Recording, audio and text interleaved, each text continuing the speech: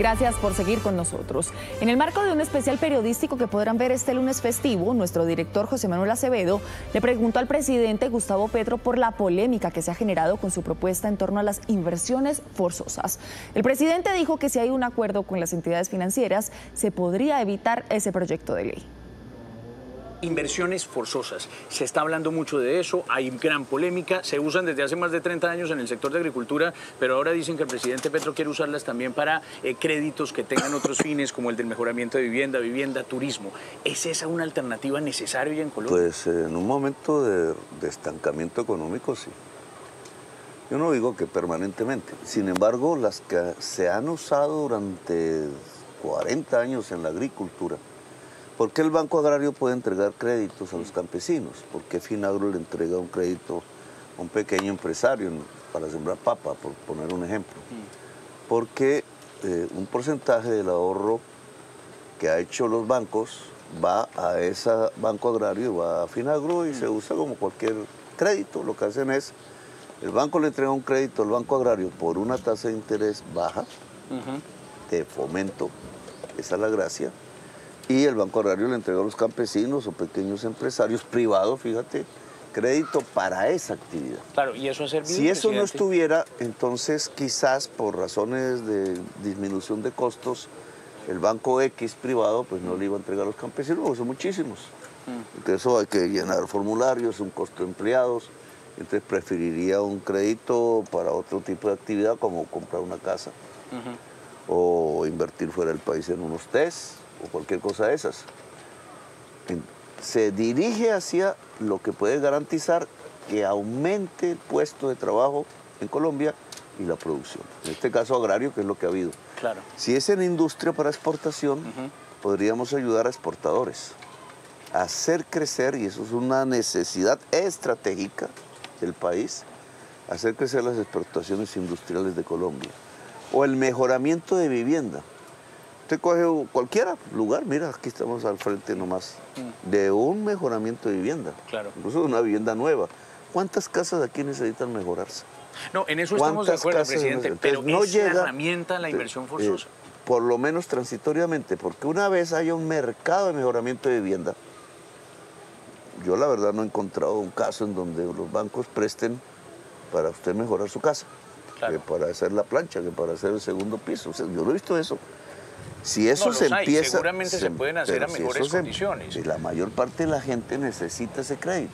Presidente, ¿y por qué no pedirle más bien al sector financiero colaboración y cooperación en ese sentido, con créditos en mejores condiciones, sin incurrir en esa figura de la inversión forzosa que tiene todo el mundo es transitorio. Mira, mira qué le está pasando a los bancos ahora. Ahora, no estoy hablando dentro de 10 años o hace 10 años. El crédito está quieto porque la tasa de interés está muy alta. Entonces, ¿por qué no hay vivienda? O sea, ha caído la construcción de vivienda porque nadie se va a meter a una, con una tasa de interés a comprar una vivienda. No está loco. O un carro. Pues puede que el que sea muy rico se compre un carro contado, pero la mayoría de la gente compra el carro a crédito. O se va de vacaciones con la tarjeta de crédito. No, pero no puede subsidiar el Estado, por ejemplo, esos créditos. Si eso es una tasa de interés muy alta, sí. entonces usted no se mete en ese negocio. El Estado tiene que hacer las escuelas de estos pueblos. Tiene que hacer el agua potable. Este pueblo no tiene agua potable. Pero los niños se enferman y se pueden morir porque no hay agua potable. Si eso no lo hace el Estado, entonces ¿qué hace? Presidente, pero hay gente que dice, con mis ahorros no, no toquen mi plata en los bancos para hacer eso. ¿Usted qué responde? El banco usa el ahorro de la gente como se le da la gana. Usted no pregunta qué están haciendo con su ahorro. El banco tiene una responsabilidad con su ahorro. Y ahora quiere ser usted el que los use El banco lo que hace en Colombia generalmente en un porcentaje importante es compra test del gobierno. Eso lo hacen desde hace 100 años. Títulos de ahorro del gobierno, se llaman test. Y esa plata va al gobierno para qué? Pues para sus actividades. Que debería ser, ser así o no, pues si crece la economía colombiana, menos tiene que prestar un banco al Estado, sí. como pasa en otros países.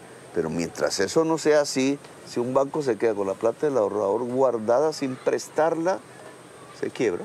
Pero yo le insisto, Entonces, no hay el otras préstamo, opciones el, ahor- que se el puedan explorar, ahorrador, presidente. sí hay otras opciones. Y está Por- explorándolas. Claro, O porque- es definitivo que va a presentar un proyecto de ley Sí, para ejemplo, las eh, inversiones forzosas en estas materias. Lo que pasa es que si está sirviendo para agricultura, ¿por qué no serviría para industria? Pero está sirviendo para agricultura, presidente, es la Porque se acaba de crecer 10% la agricultura. Pero son esos Cuando créditos usted u va- otras herramientas. No son esos créditos, porque cuando usted mira por qué creció, vamos a poner un ejemplo de lo que hay, los datos. Creció porque el café creció 24%. Entonces, ¿cómo creció el café 24%? Porque hubo un ICR, se llama, o sea, un crédito del gobierno barato, que a través de Finagro se entregó a cooperativas de cafeteros, etcétera, y entonces tuvieron una mejor rentabilidad para, para sembrar café o para recoger el café. Y el café es uno de los principales productos económicos de Colombia. Si usted va, mira otros productos agrarios, el plátano que se da en esta región, resulta que ya estamos exportando plátano. Antes no exportábamos. ¿Cómo se hace para que se, se haya producido la exportación de plátano? Hubo créditos del Banco Agrario a campesinos, porque el plátano lo cultivan son campesinos, que eh, lograron mejores producciones y se pudieron vender en el exterior. Eso se hace desde hace tiempos. Sí. El café en Colombia se sostuvo porque hubo una entidad, incluso se llamaba Banco Cafetero, que era un banco público, que ayudaba a todos los cafeteros a poder producir, a poder exportar. ¿Y esa plata de dónde salía?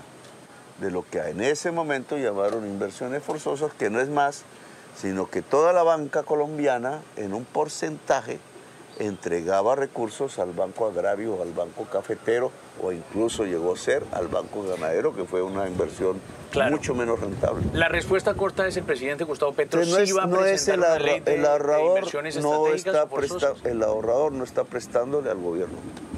Eso es carreta. El ahorrador tiene un contrato con el banco y el banco le responde. Pero el banco El usa le- plata de los ahorradores. El- lo que hace el banco es prestarle al gobierno, cosa que ha hecho desde hace un siglo, nunca ha sido pres- y el Estado le devuelve al banco la plata porque tiene que pagar la deuda Se la pública. garantiza. Jamás Colombia ha dejado de pagar su deuda pública. Lo que pasa es que se han endeudado con gente en el exterior, la deuda externa, puede ser el FMI, puede ser detentores de bonos, o se ha endeudado dentro del país y quienes han comprado los títulos de ahorro del gobierno han sido los bancos, han sido los fondos privados de pensiones. ¿No le da miedo que la gente termine sacando sus ahorros o quien puede No, eso es, invirtiéndolos lo que en dólares por eso es lo que quiere la extrema derecha. Sí. Yo no recomendaría, hace dos años dije, oiga, no compren dólares. No me creyeron, porque pensaban que uno de esos personajes que siempre habla mentiras llegó y dijo que iba a valer 7 mil. Hemos mantenido más o menos el dólar a 4 mil pesos, a veces 3 mil 800. El que se puso a comprar dólares perdió la plata. Ley de En- inversiones forzosas, en sí un o no, momento de crisis para concretarlo. Crisis mundial Sí. económica, sería un mal negocio comprar dólares. Así que Perfecto, ni se le pero ley de inversiones forzosas, sí o no, ¿la va a presentar usted el gobierno Nosotros nacional? vamos a presentar un proyecto de inversiones estratégicas. Hay una conversación con la banca sobre si los préstamos lo hace la misma banca, con unas condiciones que nosotros pongamos a quiénes y en dónde y cómo y en qué, o lo hacemos a través del, grupo Bicentenario que lleva años prestándole plata a la gente, que es Bancoldes, Banagrario, Finagro y otras entidades. Eso evitaría la presentación de una ley, si se ponen de acuerdo. Eso decir. evitaría la presentación de una ley. sí, Muy bien. Exactamente. Muy bien. Es un acuerdo entre banca y, y Estado.